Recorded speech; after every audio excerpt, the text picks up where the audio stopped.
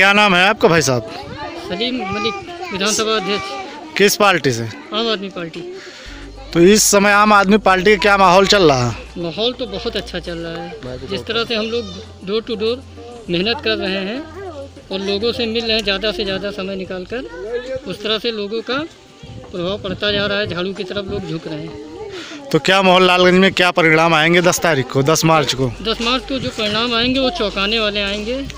इतिहास बदल जाएगा इस बार। जिस तरह से सपा यहाँ पे कब्जा किए थी और अपनी ये एक निर्णायक सीट समझ बैठी थी और जिस तरह से उनके विधायक अमरीश पुष्कर जी का टिकट कटा तो क्या सप, अपना पूरा समीकरण बदल गया यहाँ का। सपा क्या डरी हुई है क्या जो प्रत्याशी बदल दी जी बिल्कुल। हमारे प्रत्याशी सूरज प्रधान जी के सामने सपा पूरी तरह से डर गई है। हार का डर है सपा को? जी हार का डर है।